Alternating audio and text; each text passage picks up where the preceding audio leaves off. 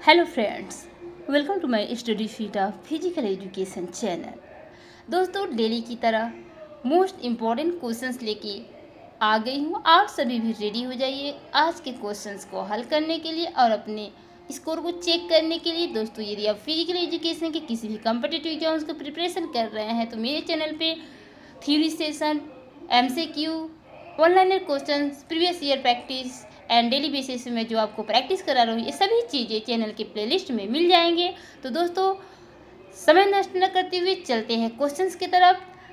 Questions कठिन ज़रूर हैं दोस्तों, लेकिन आपके लिए वेरी इंपॉर्टेंट है। इसलिए आप इग्नोर न कीजिए वीडियो को पूरा देखिए। क्योंकि सरल मार्ग तो सभी अपना लेते हैं, कठिन मार्ग पर चलना कोई नहीं जा, चाहता। और बिना कठिन मार्ग चले सफलता भी नहीं मिलती। तो क्यों आप सरल रास्ता चुनते हैं? तो चलिए क्वेश्चंस की तरफ़ चलते हैं। बातें बाद में होती रहेंगी। क्वेश्चन है दोस्तों, सूची एक को दो के साथ आपको मिलाना है। यहाँ पे वैदिक काल, प्रारंभिक हिंदू काल मध्यकाल प्रवर्ती काल को आपको देखना है। तो इसमें आपका हो जाएगा, जो वैदिक काल है, वैदिक काल हो जाएगा 2500 बीसी से 600 बीसी, यानी पच्चीस सौ ईसा पूर्व से छः सौ ईसा पूर्व एंड प्रारंभिक हिंदू काल जो है, वो हो जाएगा बी का थ्री छः सौ बी सी से तीन सौ बीस ए डी यानी कि छः सौ ईसा पूर्व से तीन सौ बीस ईस्वी। तो यहाँ पे जा रहा है ऑप्शन नंबर ख के तरफ़। एंड सी मध्यकाल हो जाएगा वन, यानी कि एक हज़ार ईस्वी से सत्रह सौ संतावन ईस्वी तक। एंड डी है परवर्ती हिंदू काल।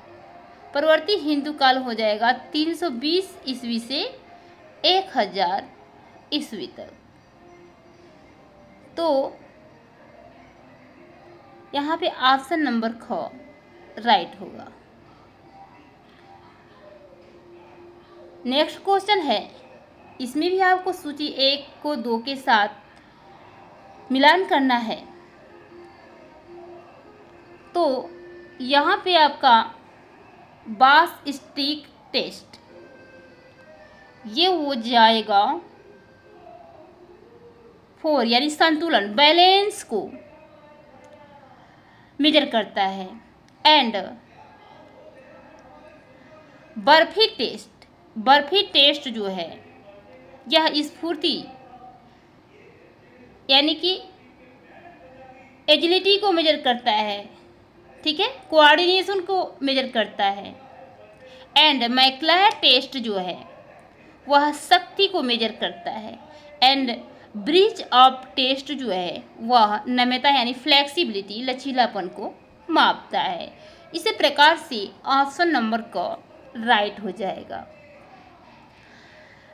नेक्स्ट है, यहाँ भी आपको मिलान करना है। तो यहाँ पे आपको देखना है, एम्फिटामाइन जो दोस्तों एक उत्तेजक होता है, जो हमारे सेंट्रल नर्वस सिस्टम को उत्तेजित कर देता है। ठीक है, यहाँ पे आपका एक आर टू हो जाएगा चौकन्नापन कर देता है। एंड बीटा ब्लॉकर्स क्या हो जाता है, क्या करता है कि हमारे हृदय के धड़कन को कम करता है, यानी कि हमारे ध्यान को एकाग्र कर देता है, यानी कि यहाँ इसका हो जाएगा वन। यानी कि हमारे हृदय धड़कन कम कर देता है, डर को कम कर देता है, एकाग्र बना देता है, जैसे तीरंदाजी एंड आपका जो राइफल शूटिंग होता है, ये सभी यूज़ होता है। एंड डोपिंग में आता है, सभी प्रतिबंधित पदार्थ है, जो खिलाड़ी अपने परफॉर्मेंस को बढ़ाने के लिए इस सब दवाओं का प्रयोग करते हैं, उसे डोपिंग कहते हैं। और इथोप्रोटीन ईपीओ जिसे कहते हैं शॉर्ट में एथोपोइटिन क्या करता है कि हमारे शरीर में हीमोग्लोबिन की मात्रा बढ़ा देता है। तो यहाँ पे फोर हो जाएगा। हीमोग्लोबिन की मात्रा बढ़ा देता है। अगर हीमोग्लोबिन हमारे शरीर में ज़्यादा रहेगा तो हमारा कार्य करने की क्षमता बढ़ जाती है। हम देर तक हमारे अंदर इंडोरेंस सहनशीलता डेवलप हो जाती है। तो ये आपका फोर होगा। एंड एल्कलाइन क्षार जो है, इसका फाइव ए स्तर को बैलेंस रखता है। इस प्रकार इसका ऑप्शन नंबर क राइट होगा। नेक्स्ट है दोस्तों, यहाँ पे भी आपको मिलान करना है एक दूसरे के साथ। तो यहाँ पे दिया है अनएरोबिक प्रशिक्षण। अनएरोबिक प्रशिक्षण क्या होता है दोस्तों? जिसमें बिना ऑक्सीजन के क्रिया की जाती है, छोटे समय की एक से दो मिनट तक की जो क्रियाएँ होती हैं, सेकेंडों में होती है, एक से दो मिनट तक में, जैसे सौ, दो सौ, चार सौ मीटर दौड़, ये सभी अनएरोबिक क्रिया में आते हैं। इसमें मांसपेशी का विशेष, मांसपेशी शक्ति का विशेष यूज़ होता है। तो कहाँ पे मांसपेशी? हृदय मांसपेशी आपका यहाँ दिख रहा है। तो ए का हो जाएगा फोर हृदय मांसपेशी मोटाई। एंड बी है दोस्तों एरोबिक प्रशिक्षण। एरोबिक प्रशिक्षण में क्या होता है कि ऑक्सीजन के साथ क्रिया होती है। ऑक्सीजन के साथ क्रिया ऑक्सीजन की उपस्थिति में कार्य किया जाता है। तो दोस्तों ऑक्सीजन के उपस्थिति में कार्य सहनशीलता डेवलप होती है। तो यहाँ पे हो जाएगा वेंट्रिकुलर आकार। क्या हो जाएगा? वेंट्रिकुलर आकार। हमारे हृदय और मांसपेशी की जो सहन क्षमता होती है, इसमें आती है। एंड सी है ऊँचे स्थान पर प्रशिक्षण। ऊँचे स्थान पर प्रशिक्षण से क्या होता है कि हमारे अंदर ऑक्सीजन ग्रहण करने की शक्ति डेवलप होती है, एंड हीमोग्लोबिन की उसमें गणना किया जाता है। डी है प्लायोमेट्रिक प्रशिक्षण। आप सबको पता है कि विस्फोटक शक्ति के अंतर्गत आता है। इस प्रकार दोस्तों ऑप्शन नंबर वन का आपका राइट होगा। नेक्स्ट है, फिर आपको एक सूची के साथ दूसरी सूची से मिलान करना है। दोस्तों, यहाँ पे आपका ऑप्शन नंबर ग राइट होगा, क्योंकि इसको यहाँ पे स्विमिंग पूल में एक और आठ लेन में लगाई गई लेन रोप का रंग कैसा होता है? यानी कि पहला पुल लेन है और आठवां पुल में कौन सा रंग के रोप का रोप जो होता है, उसमें रस्सी होता है, कौन से रंग का होता है? पहला आठवां लेन में तो इसका राइट होगा, हरा, तीसरा हो जाएगा। एंड बी है स्विमिंग पूल में, दूसरा, तीसरा, छठवां और सातवां में लगाई गई रोप का रंग क्या होता है? तो वो होता है पी, नीला। एंड सी है स्विमिंग पूल में, चौथा और पांचवा में लगाई गई लेन रोप का रंग कैसा होता है?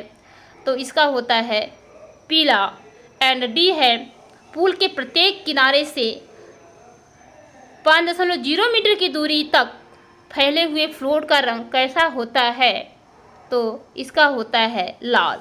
इस प्रकार ऑप्शन नंबर ग राइट होगा। नेक्स्ट है, फिर से आपको सूची वन से टू से मिलान करना है। एंड यहाँ पे आपका राइट आंसर हो जाएगा ऑप्शन नंबर ख। अब हम मिलाते हैं यहाँ पे है। प्रबंधन का क्लासिकल सिद्धांत किसने दिया दोस्तों? तो इसको दिया है मैक्स बेबर ने। थ्री हो जाएगा। एंड प्रसा, प्रबंधन का प्रशासनिक सिद्धांत किसने दिया यह क्वेश्चन पूछा भी गया है। तो इसको दिया है हेनरी फ्याल ने। एंड प्रबंधन का मानव संसाधन सिद्धांत किसने दिया है? तो इसका हो जाएगा एल्टन पायो मायो ने। एंड डी है। प्रबंधन का वैज्ञानिक प्रबंधन सिद्धांत किसने दिया है?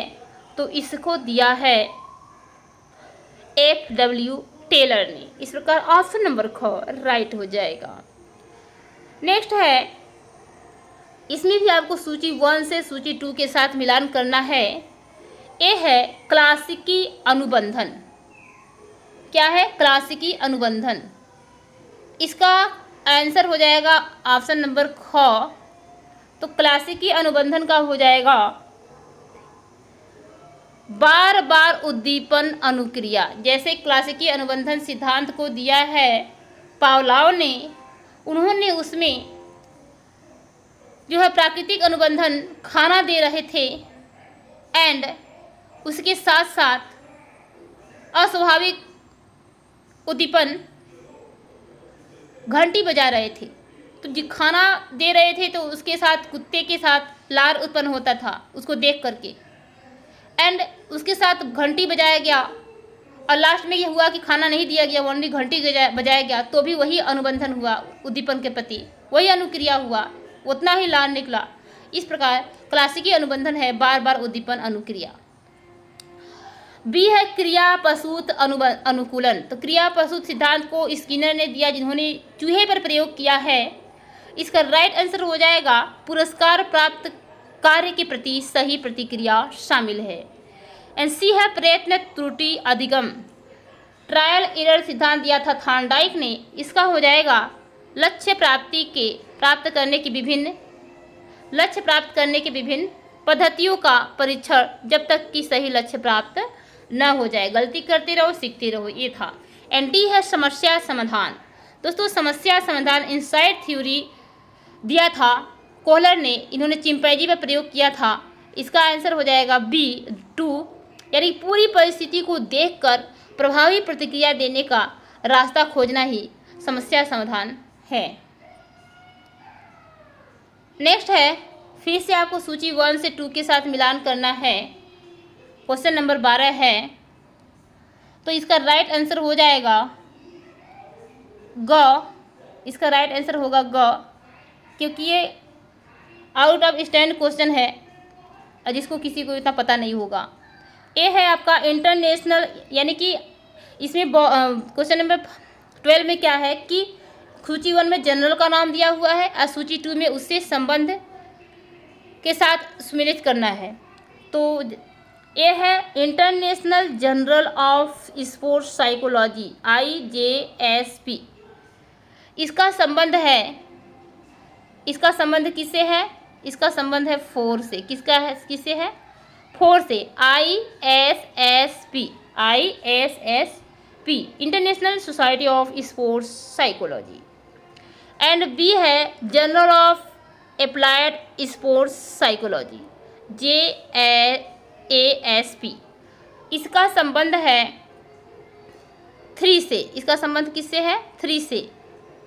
A A A S P association for applied sports psychology and C है medicine and science in sports and exercise M S S E इसका संबंध है टू से ए सी एस एम यानी कि American college of sports medicine and दोस्तों D है research quarterly for exercise and sports, R Q E S. इसको शायद आप लोग जानते होंगे, इसका संबंध है, डी का संबंध है ए से आफर्ड यूथ फिटनेस टेस्ट से, यानी कि American alliance for health physical education recreation and dance से। इस प्रकार ऑप्शन नंबर ग राइट होगा। नेक्स्ट है, आपको अभिकथन से रिलेटेड क्वेश्चन है स्टेटमेंट बेस पे। अभिकथन ए है, शारीरिक शिक्षा, कला और विज्ञान है। ये बात तो सही है कि शारीरिक शिक्षा, कला और विज्ञान दोनों है। आर है व्या व्यायामिक क्रियाओं, कलापों का सौंदर्य परक और सृजनात्मक मूल्य होता है। बात तो सही है आर भी, लेकिन आर को ए के पक्ष में तर्क देना चाहिए था, जो दिया नहीं है, इसलिए आर गलत आर ए की सही व्याख्या नहीं है। यानी ए और आर दोनों सत्य है। इस प्रकार ऑप्शन नंबर ख राइट हो जाएगा कि आर और ए दोनों सत्य है बट आर ए की सही व्याख्या नहीं है। नेक्स्ट है, यहाँ भी अभिकथन से रिलेटेड क्वेश्चन है। अभिकथन ए है कि शारीरिक शिक्षा केवल व्यक्ति के शारीरिक विकास तक ही सीमित नहीं है। बात सही है, शारीरिक शिक्षा केवल व्यक्ति के विकास तक ही सीमित नहीं है, क्योंकि शारीरिक शिक्षा में संपूर्ण विकास पर ध्यान दिया जाता है। एंड दोस्तों, आर है कि प्रतियोगी खेलों में केवल प्रतियोगिता जीतने पर ही अधिकतम दबाव डालता है। तो ये बात तो सही है, जितने पर अधिक प्रभाव डालता है बट ए की ये सही व्याख्या नहीं कर रहा है। इस प्रकार आपका सही हो जाएगा ख, कि ए और आर दोनों राइट है बट आर ए की सही व्याख्या नहीं है। नेक्स्ट है अभिकथन ये है कि व्यक्ति की समृद्धि और विकास पर्यावरणीय कारकों अनुवांशिक कारकों पौषणिक कारकों और विशिष्ट शारीरिक शिक्षा कार्यक्रमों से प्रभावित होते हैं। एंड आर है शारीरिक शिक्षा और खेलों का व्यक्ति के स्वास्थ्य में योगदान होता है। तो यहाँ पे ऑप्शन नंबर क राइट हो जाएगा।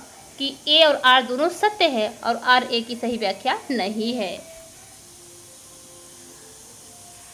नेक्स्ट है, अभिकथन ए है कि वित्तीय प्रबंधन फाइनेंशियल मैनेजमेंट संगठन यानी ऑर्गेनाइजेशन के आयोजन तथा वित्तीय स्रोतों फाइनेंशियल सोर्स के नियंत्रण से संबंध रखता है। ये बात तो सही है, ठीक है? एंड आर है कि किसी भी संगठन की कार्य दक्षता इफिशियंसी साख तथा सफलता का मुख्य निर्धारक वित्तीय प्रबंधन होता है। तो यहाँ पे दोस्तों, दोनों सही है, ठीक है? आर ए दोनों सही है और आर ए की सही व्याख्या भी है। नेक्स्ट क्वेश्चन है कि अभिकथन ये है कि संतुलित आहार, आयु, लिंग तथा व्यक्ति के द्वारा किए गए कार्य पर आधारित होते हैं। ये बात तो सही है, ठीक है? एंड आर है कि संतुलित आहार में carbohydrate protein fat vitamin minerals तथा पानी का समावेश होता है। संतुलित आहार में ये सभी छह पोषक तत्व कार्बोहाइड्रेट प्रोटीन वसा विटामिन खनिज लवण जल विद्यमान होते हैं। और ए भी सही है आर भी सही है। दोनों सत्य हैं तो आपका ख हो जाएगा ए और आर दोनों सत्य हैं।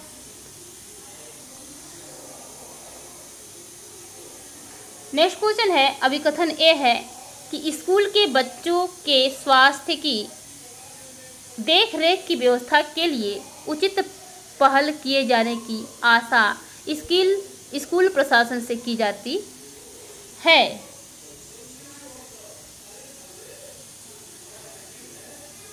एन आर है कि राष्ट्रीय शिक्षा नीति उन्नीस सौ छियासी ने स्कूल शिक्षा की सीखने की प्रयास, प्रक्रिया में शारीरिक शिक्षा और खेलों को सम्मिलित करने की सिफारिश की है। तो इस प्रकार यहाँ पे राइट हो जाएगा। ए आर दोनों सत्य है और आर ए की सही व्याख्या है। नेक्स्ट है, अभिकथन ए है कि शारीरिक शिक्षा के व्यवसाय को ऊँची योग्यता प्राप्त कर्तव्यनिष्ठ शिक्षकों का पास, विषयों तथा कौशलों का गहन अध्ययन, निर्देशन की क्षमता तथा व्यवसाय के लिए प्रेम आवश्यक है। एकदम राइट है। ठीक है?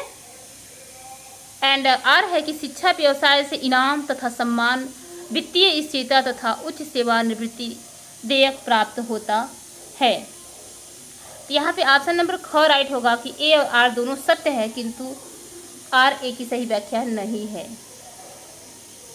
नेक्स्ट है क्वेश्चन नंबर बीस है। अभिकथन ए है कि समय सार यानी टाइम टेबल का अर्थ है कि दिन के कार्यों का आयोजन, सप्ताह के कार्यों का आयोजन, मासिक कार्यों का आयोजन वार्षिक कार्यों का आयोजन इत्यादि को एक निश्चित समय अनुसार नमनीयता के आधार पर ज़रूरी परिवर्तन करना एकदम राइट है। इसी को समय सारणी कहते हैं। ठीक है? टाइम टेबल कहते हैं। एंड आर है कि अच्छी तरह से तैयार की गई स्कूल की समय सारणी से स्कूल के उद्देश्य प्राप्त करने में सहायता मिलती है। तो यहाँ पे हो जाएगा ऑप्शन नंबर क। कि ए और आर सत्य है, आर ए की सही व्याख्या नहीं है। नेक्स्ट है, अभिकथन ए है कि श्रेणी वन में, यानी कि प्रथम प्रकार के लीवर में फोर्स, आर्म और रेसिस्टेंस आर्म, यानी कि जो है बल भुजा और भार भुजा का बीच संबंध बदल सकता है, बात सही है, बदल सकता है।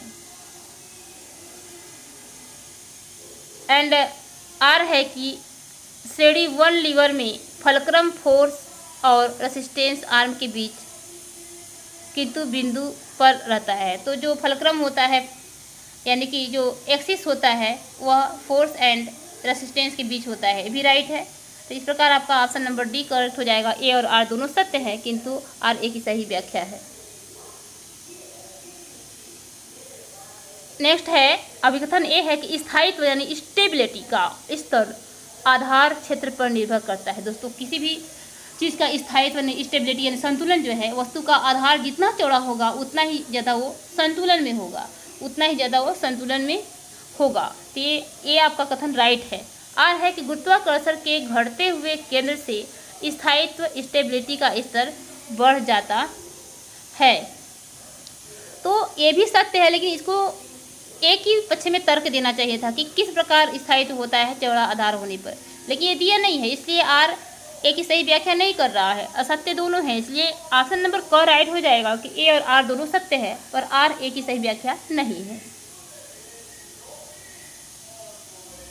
नेक्स्ट है अभिकथन ये है कि जिस अनुपात में शरीर का भार बढ़ता है, उसी अनुपात में शक्ति कम होती है। बात सही है दोस्तों, जितना आपके अंदर मोटापा ओबिसिटी बढ़ेगा, आपके अंदर शक्ति उतना ही कम होगी, फुर्ती भी कम होगी तो ए आपका एकदम राइट है।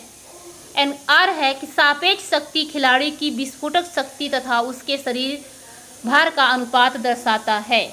तो यहाँ पे दोनों राइट लग रहा है, ठीक है? दोनों राइट है। और एक दूसरे की व्याख्या भी सही है तो क हो जाएगा ए और आर दोनों सत्य है। आर ए की सही व्याख्या है। नेक्स्ट है। अभिकथन ये है कि जैसे ही खिलाड़ी अपना प्रशिक्षण लेना बंद कर देता है, उसकी मांसपेशियों की सामर्थ्य और शक्ति दोनों ही कम हो जाती है। बात सही है, आप डेली व्यायाम कर रहे हैं और आप व्यायाम करना बंद कर देते हैं तो पहले जैसे शक्ति तो रहेगी नहीं। इस प्रकार तो आप राइट है, ठीक है? इस प्रकार राइट है। एंड आर है कि जब वे निष्क्रिय होते हैं तब अस्थि मांसपेशियों के आकार काफ़ी घट जाती है, जिसे अपक्षय कहते हैं। इस प्रकार ए और आर दोनों सत्य है, आर ए की सही व्याख्या है, का आपका राइट है। नेक्स्ट है, अभिकथन ए है कि एक हृदय चक्र में डायस्टोलिक फेस सिस्टोलिक फेस के बड़ा होता है। तो ए सत्य है आपका। आर है कि एक व्यक्ति की हृदय गति चौहत्तर धड़कन प्रति मिनट है। उसके डायस्टोलिक फेस का समय ज़ीरो पॉइंट फोर फोर से सिस्टोलिक फेस का समय ज़ीरो पॉइंट थ्री सेवन से होगा। तो यहाँ पे आपका ख राइट हो जाएगा। आर, ए दोनों सत्य हैं। आर, ए की सही व्याख्या नहीं है। नेक्स्ट है, अभिकथन ये है कि ऑक्सीजन का श्वसन झिल्ली ऑक्सीजन का श्वसन झिल्ली के पार दबाव अनुपात 100 सौ, से 105 सौ डी बीच होता है। ये असत्य है दोस्तों, इतना नहीं होता है। आर है कि श्वसन झिल्ली, यानी कि जो कोशिका झिल्ली होती है, के पार जितना दबाव अनुपात ज़्यादा होता है, उतना ही ज़्यादा जल्दी ऑक्सीजन उसके पार जाती है। तो ये बात सही है तो आपका 26 का हो जाएगा ग राइट। 26 का ग राइट हो जाएगा। ए सत्य है परंतु आर। ए असत्य है परंतु आर सत्य है, ठीक है? नेक्स्ट क्वेश्चन है, अभिकथन ये है कि मानकीकृत स्टैंडर्ड परीक्षण वैज्ञानिक रूप से निर्मित परीक्षण है, जिसको सार्वभौमिक प्रयोजता यानी यूनिवर्सल अप्लीकेबिलिटी होती है। ठीक है? तो यहाँ पे ये सत्य है। आ रहा है कि मानसिकीकृत परीक्षण, स्टैंडर्ड टेस्टिंग की वैज्ञानिक प्रमाणिकता यानी साइंटिफिक ऑथेंटिसिटी को भलीभांति स्थापित किया जाना है। तो यहाँ पे दोनों सत्य हैं, ए और आर दोनों राइट है, आर ए की सही व्याख्या है। नेक्स्ट है, अभिकथन ये है कि परीक्षण और मापन निर्धारित उद्देश्यों की प्राप्ति में सहायक होते हैं। बात सही है, परीक्षण और मापन जो है दोनों निर्धारित उद्देश्यों की प्राप्ति में सहायक होते हैं। एन आर है परीक्षण मापन अपने आप में अंत नहीं है। तो यहाँ पे आपका ऑप्शन नंबर क राइट हो जाएगा। ए, आर दोनों सत्य हैं और आर ए की सही व्याख्या है। नेक्स्ट है, अभिकथन ये है कि बढ़े हुए भाव प्रबोधन से खिलाड़ी के ध्यान में कमी आती है। तो बढ़े हुए भाव प्रबंधन से, प्रबोधन से खिलाड़ी के ध्यान में कमी आती है। तो ये सत्य है। आर है कि खिलाड़ी जो उस खेल में भाग लेते हैं, जहाँ बड़े पैमाने पर अवधान, जागरूकता अपेक्षित एक्सपेक्टेड होती है, वहाँ सर्वश्रेष्ठ प्रदर्शन के निम्न भाव प्रबोधन स्तर आवश्यक होता है। तो यहाँ पे ख राइट हो जाएगा ए और आर ए और आर दोनों राइट है बट आर ए की सही व्याख्या नहीं है। नेक्स्ट है अभिकथन ए है, चयनित अवधान कौशल है, जिसे सीखा जा सकता है। अवधान मतलब ध्यान होता है। चयनित अवधान कौशल है, जिसे सीखा जा सकता है। एंड आर है कि निसंदेह कुछ खिलाड़ी चयनित अवधान की दृष्टि से अन्य की अपेक्षा अधिक बेहतर होते हैं। इसमें कोई संदेह नहीं है कि इस कौशल को अर्जित किया जा सकता है। दोस्तों तो यहाँ पे आपका ए असत्य है। चयनित अवधान कौशल है जिसे सीखा जा सकता है। तो अवधान यानी धान कौशल नहीं है दोस्तों। इसे सीखा जा सकता है। ये आपका ए आपका सत्य है। ए सत्य है लेकिन आर असत्य है। क्या है? यहाँ पे ए सत्य है लेकिन आर असत्य है। ये ध्यान रखिएगा। चयनित अवधान कौशल है। एक प्रकार का एकाग्रता, किसी चीज़ पे ध्यान लगाने का एक कौशल है। स्किल है। सब में नहीं होता है। उसको बढ़ाना पड़ता है तो उसको सीखा जा सकता है। तो ये आपका सत्य है वक्तु परंतु आर असत्य है। नेक्स्ट दोस्तों, निम्न अनुच्छेद को आपको पढ़ना है और पढ़े हुए प्रश्न इकतीस से पैंतीस तक उत्तर देना है। तो इतना लंबा हम लोग नहीं पढ़ सकते, सीधे चलते हैं क्वेश्चन की तरफ़, ठीक है? आपको पढ़ना है तो वीडियो पॉज करके पढ़ सकते हैं। नेक्स्ट है आपका इकतीस क्वेश्चन है कि विजेता और खाने वाले में, विजेता और खोने वालों में सबसे अधिक अंतर निम्न में से किसमें होता है? तो विजेता और खोने वालों में सबसे अधिक अंतर होता है कंपनी से कंपनी में। कंपनी से कंपनी में।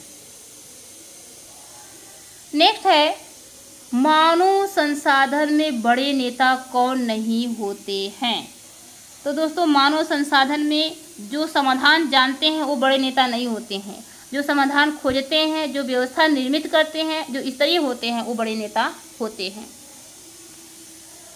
नेक्स्ट है, प्रवर्तक किन विभिन्न तर्कों में एक दूसरे को प्रतियोगिता से बाहर कर देते हैं? तो वो होता है, आपका संस्कृति, प्रौद्योगिकी, संस्थान, इन सभी में। ठीक है? नेक्स्ट है, बड़े संगठन किस माध्यम से जीतना चाहते हैं? तो दोस्तों, बड़े संगठन जो है, वह किससे जीतना चाहते हैं? बड़े संगठन जो है, किससे जीतना चाहते हैं? तो स्तर और कार्यक्षेत्र के आधार पर वो जीतना चाहते हैं। नेक्स्ट है, कंपनियों के संदर्भ में जीतना हारना किस कारण से होता है? तो कंपनियों के संदर्भ में जितना हारना जो है, होता है प्रतिभा और पर्यावरण के बेस पे, के कारण, ठीक है? नेक्स्ट है सांख्यिकी क्या है? तो दोस्तों, सांख्यिकी कला और विज्ञान दोनों है। नेक्स्ट है मध्यमान, माध्य और बहुलक, केंद्रीय प्रवृत्ति के माप है। तो ये सत्य है, ये तीनों केंद्रीय प्रवृत्ति के माप हैं। नेक्स्ट है केंद्रीय प्रवृत्ति यानी सेंट्रल टेंडेंसी मापों का सबसे विश्वसनीय रिलेबल माध्य होता है तो वो होता है मीन यानी माध्य, जिसमें औसत निकाला जाता है। नेक्स्ट है मीन यानी माध्य की गणना के लिए सूत्र क्या होता है? इसका सूत्र है A M plus E sigma F D upon N गुड़े आई नेक्स्ट है आवृत्ति यानी फ्रिक्वेंसी कालम के योग को किसके द्वारा दर्शाया जाता है? तो आवृत्ति को एफ़ से दर्शाया जाता है उसके योग को एन से दर्शाया जाता है। नेक्स्ट है दो चरों के संबंधों को जाना जाता है। इसको क्या कहते हैं? उसको को रिलेशन कहते हैं। क्या कहते हैं? को रिलेशन यानी सह संबंध दो चरों में सह संबंध निकाला जाता है। नेक्स्ट है विचलनों के मापों में सबसे विश्वसनीय माप क्या है? तो विचलनों के मापन में सबसे विश्वसनीय मा, माप है क्या है? सबसे विश्वसनीय माप है विचलनों के मापन में। प्रमाप विचलन स्टैंडर्ड डिविएशन ठीक है? घर राइट होगा। नेक्स्ट है पचासवां प्रतिशतात्मक को कहते हैं। पचासवां प्रतिशतात्मक को कहते हैं। तो इसको कहते हैं मीडियन यानी कि मध्यांक। नेक्स्ट है असंगठित। अनऑर्गेनाइज्ड तथ्यों द्वारा मध्यांक यानी मीडियन की गणना करने का सूत्र क्या है? तो इसका सूत्र है N plus one upon two next है, निम्नलिखित में से लगातार चर कॉन्टिन्यूस वेरिएबल है। तो कौन है दोस्तों? इसका आंसर है उपयुक्त दोनों, समय और शरीर का भार दोनों है। लगातार चर कॉन्टिन्यूस वेरिएबल है, बदलने वाला। नेक्स्ट है, सहसंबंध यानी को रिलेशन विस्तार की संभव सीमा क्या है? तो इसकी संभव सीमा है। ऑप्शन नंबर ख राइट है। धनात्मक है तो plus one point zero zero होगा। ऋणात्मक है तो minus one point zero zero तक होगा। नेक्स्ट है कि विचलन यानी डिविएशन के मापों में सबसे अच्छा माप कौन सा होता है? तो सबसे होता है प्रमाप विचलन यानी स्टैंडर्ड डिविएशन नेक्स्ट है, एक पूर्ण धनात्मक सहसंबंध दर्शाता है तो पूर्ण धनात्मक सहसंबंध प्लस वन दर्शाता है अपूर्ण होता है तो माइनस वन दर्शाता है। नेक्स्ट है, संगठित तथ्यों द्वारा मध्यांक यानी मीडियन की गणना करने का सूत्र है तो इसका राइट आंसर है, ख L one plus N upon two minus C upon F गुड़े आई नेक्स्ट है, शरीर की सबसे मज़बूत अस्थि कौन सी है? जैसा आपको पता है मैंडिबल और निचले जबड़े की जो अस्थि है, शरीर की सबसे मज़बूत अस्थि है, लेकिन यहाँ पे दिया नहीं है, इसलिए इस ऑप्शन जो दिया है, इसमें से आपका फीवर हो जाएगा। ठीक है? यानी जांग की हड्डी।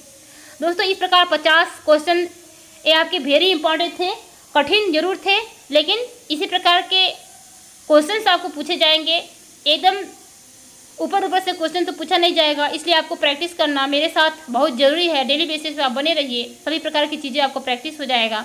एंड वीडियो कैसा लगा कमेंट में ज़रूर बताइए। जो भी डाउट होगा उसे भी बताइए। एंड फ़र्स्ट बार विज़िट कर रहे हैं तो चैनल को सब्सक्राइब कर लीजिए बेल आइकन को प्रेस कर लीजिए, जिससे न्यू वीडियो का अपडेट आप तक पहुँचता रहेगा। तो मिलते हैं नेक्स्ट प्रैक्टिस सेट के साथ। तब तक के लिए